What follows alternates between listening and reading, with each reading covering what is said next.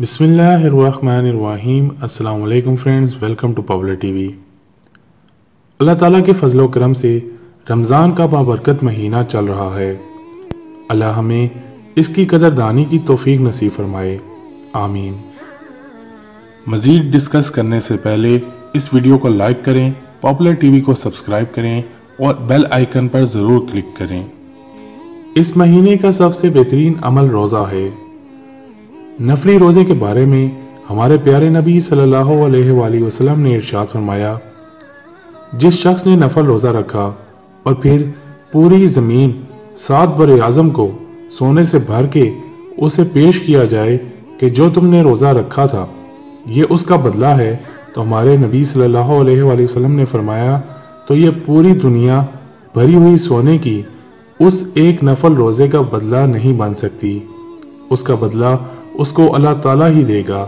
اور اللہ کے پیارے نبی صلی اللہ علیہ وآلہ وسلم نے فرمایا، روزے کا بدلہ اللہ خود ہے۔ حضرت علی رضی اللہ تعالیٰ عنہ کا فرمان ہے، جس نے فرض روزہ چھوڑ دیا، جان بوجھ کے، اور پھر قیامت تک روزے رکھتا رہا، تو اس ایک روزے کا بدلہ نہیں بن سکتا، اس کے برابر نہیں ہو سکتا۔ ایک اور حدیث شریف میں پیش کرتا ہوں، کعب بن اجرا رضی اللہ تعالیٰ عنہ فرماتے ہیں کہ اللہ کے نبی نے ہمیں فرمایا کہ ممبر کے قریب ہو جاؤ۔ تو ہم لوگ قریب ہوئے۔ آپ صلی اللہ علیہ وآلہ وسلم ممبر پر چڑھے پہلے سیڑھی پر قدم رکھا تو آپ نے کہا آمین۔ پھر دوسری سیڑھی پر قدم رکھا تو آپ نے فرمایا آمین۔ پھر تیسری سیڑھی پر قدم رکھا تو آپ صلی اللہ علیہ وآلہ وسلم نے فرمایا آمین۔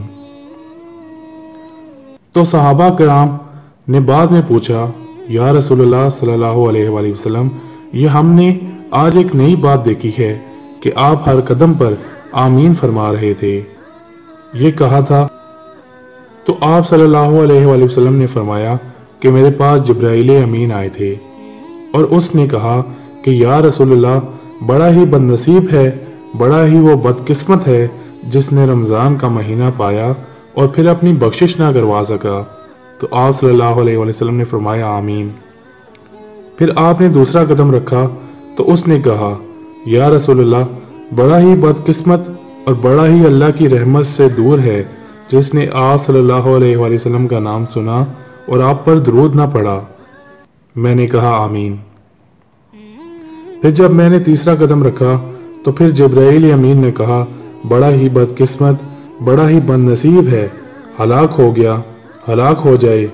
جس نے ماں باپ بوڑھے اپنی زندگی میں ان کو پایا اور ان کی خدمت کر کے بخشش اور جنت کو حاصل نہ کر سکا۔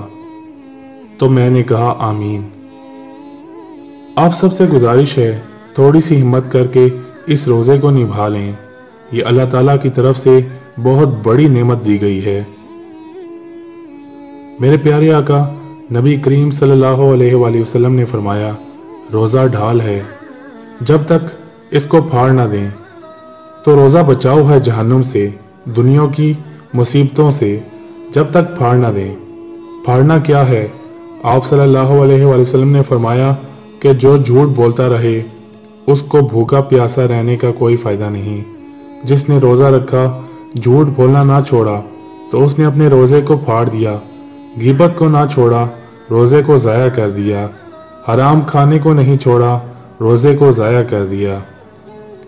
سب سے عرض ہے، اپنے رزق کو، اپنی کمائی کو پاکیزہ کریں، حلال کریں۔ اس میں اللہ کی بے پناہ برکت ہے۔ روزے کو خوبصورت بنائیں، روزے کو قیمتی بنائیں۔ قرآن پاک کی تلاوت کے ساتھ اور نماز کے ساتھ تراوی کے ساتھ۔ اور جھوٹ، غیبت اور بہتان چھوڑنے کے ساتھ، اس طرح ہمارا روزہ نہایت خوبصورت بن کر اللہ کی راہ میں پہنچے گا۔ اور انشاءاللہ اللہ سبحانہ و تعالی ہمارے لیے بخشش کا اعلان فرمائیں گے۔ دوستو مجھے یقین ہے میری آج کی ویڈیو آپ کے لیے کافی انفارمیٹیو ہوگی اور آپ کو کافی اچھی لگی ہوگی۔ مزید اچھی اچھی ویڈیوز کے لیے ہمارے چینل پاپولر ٹی وی کو سبسکرائب کریں، اس ویڈیو کو لائک کریں اور اپنے دوستوں کے ساتھ شیئر کریں۔